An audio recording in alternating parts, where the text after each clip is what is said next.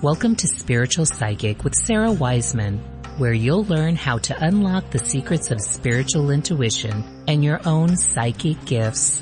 Here's Sara.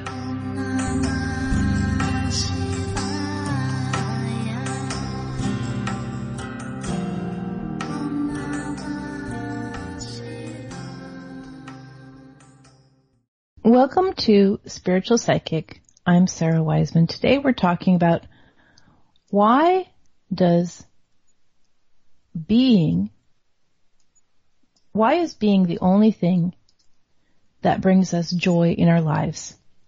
So this is this interesting thing, you know, we think that the achievements, and for a long time, even in a kind of misuse of law of attraction or misuse of the secret, the idea was we want stuff. We want the money. We want the material stuff or we want the stuff of the ambition realm. We want the fame. We want, uh, the popularity. We want every, the power. And, you know, it's like we're, we're charging over for the wrong treasure. Those are the treasures that don't make us happy. Because as human beings, as human beings, what really makes us happy is this state of expansion.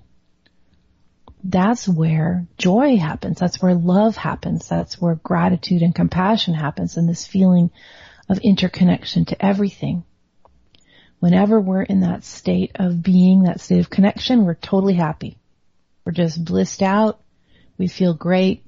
Whenever we drop back into the lower levels of money, materialism, power, competitiveness, etc., ambition, we immediately drop into this lower vibrational, uh, egoic goals.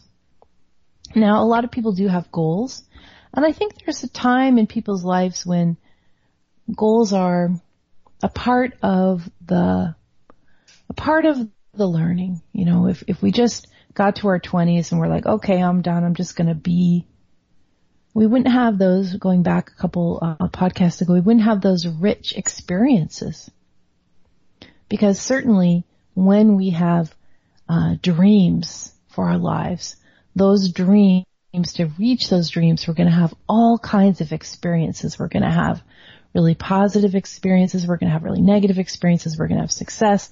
We're going to have failure. We're going to have the whole thing as we're working towards our dreams our goals. And so there's a lot of learning there.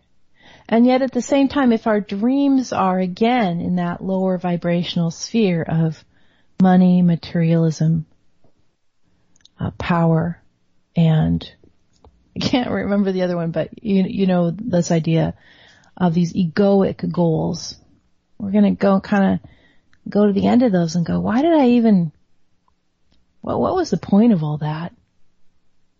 Because when you finally get to this more mature state, you know, just getting up and having your day in the simplest way possible is just this wonder filled, wonderful, wonderful existence. Every little thing is connected to everything else.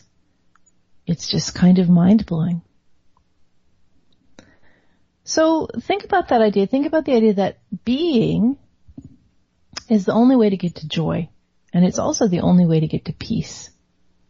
Those are kind of the same things, different words. States of serenity and calm. Being, not doing and that, those lower vibrational states, the money, the power, the money, the materialism, the power, the ambition. Those things don't take you there. Do them for the state of having experiences, or maybe that's a soul's calling you're here to do, that's your task, that's super valid.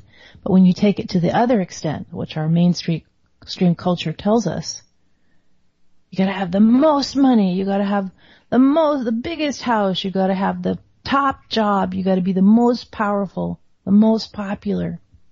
Hmm. Those are ways of feeling separate from everyone else, aren't they? Instead of one with everyone else, which is what we truly are. All right, we're working from the book Messages from the Divine and more teachings to come. I'm Sara Wiseman.